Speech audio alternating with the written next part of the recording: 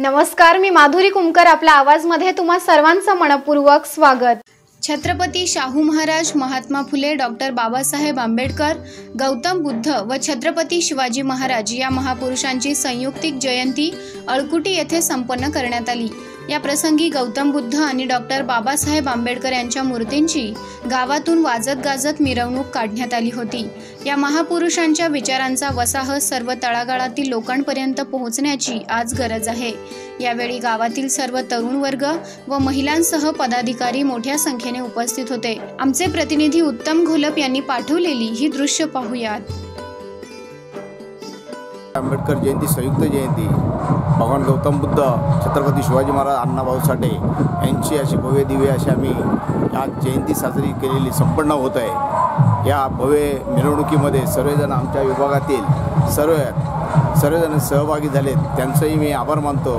आज या डॉक्टर बाबासाहेबांनी संविधान दिलं. त्या संविधानाचा विचार करून आज जे जगभर चाललेलं वातावरण आहे आणि सर्वांनी या संविधानावर चालवलेलं आहे जे चाललं आहे हे संविधानावर चाललं आहे याचा विचार करून आम्ही आज या आळकुडी गावात आम्ही अशी भव्य देवी संयुक्त जयंती आम्ही संपन्न करत आहोत. आणि डॉक्टर बाबासाहेब आंबेडकर भगवान गौतम बुद्ध छत्रपती शिवाजी महाराज शाहू महाराज यांच्या विचारांना आम्ही घेऊन त्यांना आम्ही मानाचा मुजरा करतो आहे आणि इथेच तिथे गोव्या को छूने नाही देते तो पाणी तो दूर ही रहा.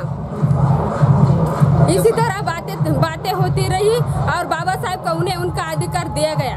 जिल्ह्याच्या वतीनं व समस्त ग्रामस्थांच्या वतीने आज या ठिकाणी मुंबईकर मंडळींच्या अथक परिश्रमातून गौतम बुद्ध भारतीय संविधानाचे प्रमुख शिल्पकार डॉक्टर बाबासाहेब आंबेडकर क्रांतीसूर्य महात्मा ज्योतिबा फुले ज्ञानगंगोत्री सावित्रीबाई फुले लोकशाहीर अण्णाभाऊ साठे तसेच या सामाजिक परिवर्तनाच्या चळवळीत महत्त्वपूर्ण योगदान देणाऱ्या सर्व महापुरुषांच्या जयंतीचा संयुक्तिक कार्यक्रम या ठिकाणी आयोजित केलेला आहे. या जयंतीनिमित्ताने मी आळकुटीवासियांना हार्दिक शुभेच्छा व्यक्त करतो. डॉक्टर बाबासाहेब आंबेडकरांच्या बाबतीत वामनदादा कर्डक म्हणतात उद्धरेली कोटीकुळे भीमा तुझ्या जन्मामुळे. खरोखरच हा बहिष्कृत समाज राष्ट्रीय प्रवाहात आणण्यासाठी बाबासाहेबांचं योगदान फार महत्त्वाचं आहे. फुले शाहू हे डॉक्टर बाबासाहेबांचे गुरु. व त्यांचाच विचाराचा वारसा घेऊन या बहिष्कृत समाजाला आत्मप्रौढी मिळवण्यात योगदान दिलेलं आहे. व त्यांचं योगदान विसरणं कदापि शक्य नाही. बाबासाहेब म्हणत जो समाज आपला इतिहास विसरतो तो समाज आपला इतिहास घडू शकत नाही. म्हणूनच या महापुरुषांच्या विचारांना चालना देण्यासाठी ते उदात्त करण्यासाठी हा जयंतीचा घाट घातला जातो आहे.